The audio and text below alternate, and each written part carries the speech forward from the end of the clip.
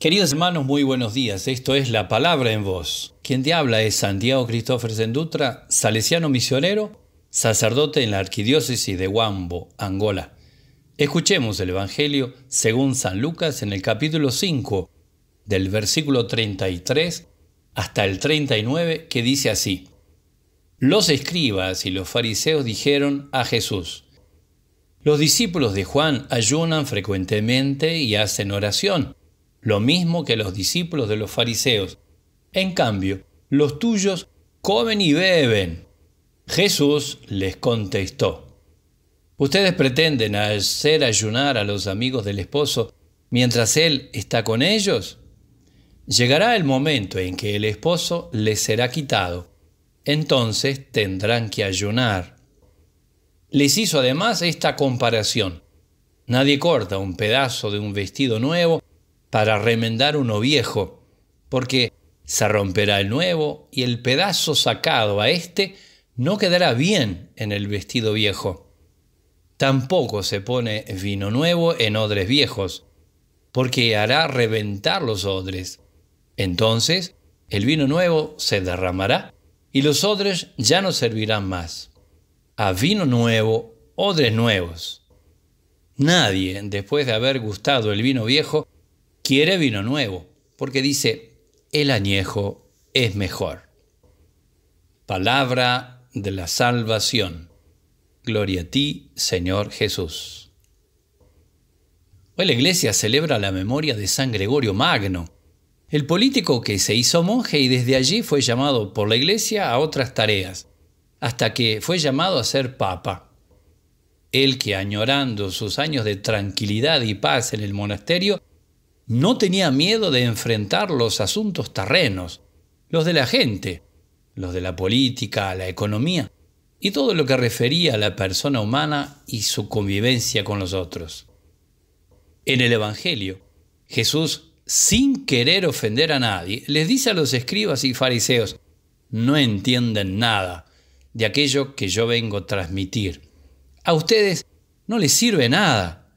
Hasta bien le podrían decir, Lloran por todo. Los discípulos de Juan, porque hacen ayuno, y los míos, porque no hacen. No les gusta nada. Los escribas y fariseos no se daban cuenta de la gran novedad que era Jesús, y pensaban que el Nazareno sería uno más que traía un verso nuevo y que después de un tiempo nadie más hablaría de él. A veces a nosotros también nos cuesta entender la novedad llamada Jesús. Tal vez nos contentamos con que Jesús, un gran amigo, que nos trae una nueva religión y vamos haciendo cosas como para calmar nuestra sed de infinito, nuestra hambre de eternidad. Conocemos gente, hasta seguimos movidas diferentes buscando espiritualidad porque pensamos que precisamos algo más. Y los años se nos van remendando y cosiendo pedazos de nuestra vida. Hacemos las cosas sin entender por qué. Lo hacemos por pura novedad, porque pensamos que renovarse es vivir, lo que es verdad. Pero a veces renovarse es huir. Huir de situaciones desafiantes que precisan excavar en la profundidad, zamullirse en lo más hondo de nuestro ser y por sobre todo exigen de nosotros esfuerzo, sacrificio y perseverancia.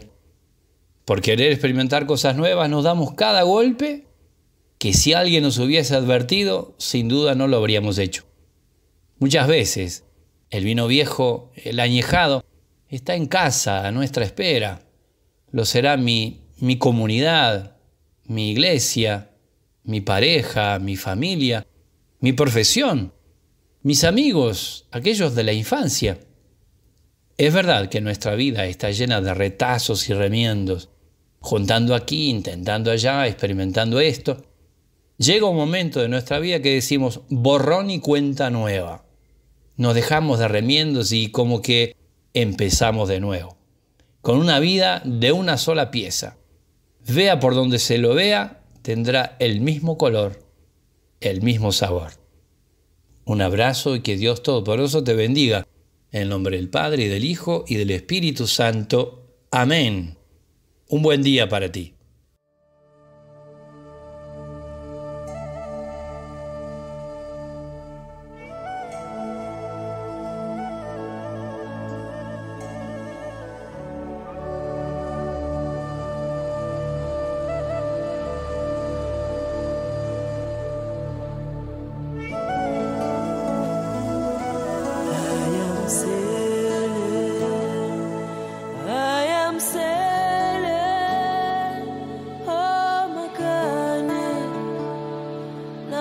kabahari I am sailing on a magic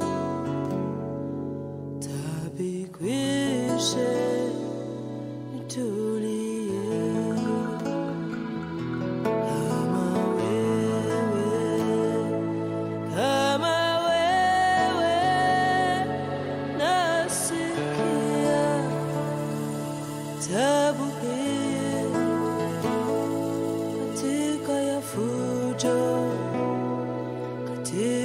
see.